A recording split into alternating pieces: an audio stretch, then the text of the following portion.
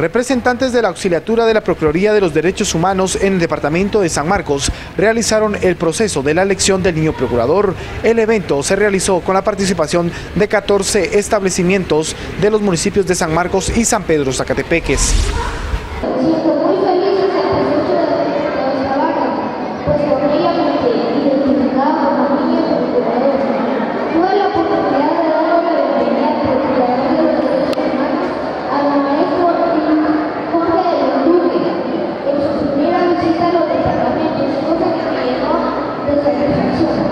Un empate para elegir al niño procurador y en este caso al primer lugar le correspondió al niño Francisco de Jesús López Castillo, representante de la escuela José Antonio León Bonilla de acá de San Marcos.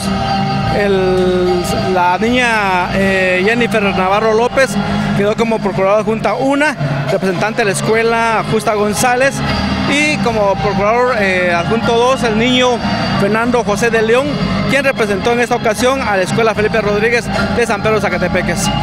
Reportan para Cuatro News Henry Pérez, Jerix y Fuentes.